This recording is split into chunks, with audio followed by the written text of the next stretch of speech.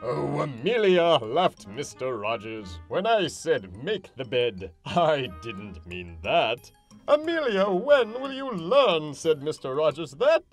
That's not what I meant by nail clippers. Amelia, this is not what I meant by baby shower. Dear God, cried Mr. Rogers. He wiped his brow with a handkerchief. Bring me my armchair. I think I'm going to faint.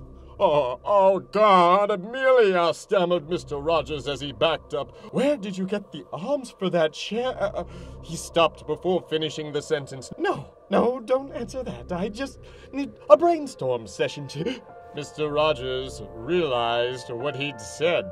No, Amelia, pleaded Mr. Rogers as Amelia Bedelia marched obediently onward. Please, no! No! Mr. Rogers in Eldritch horror. It was too late. The deed was done. There is no God, only Amelia Bedelia.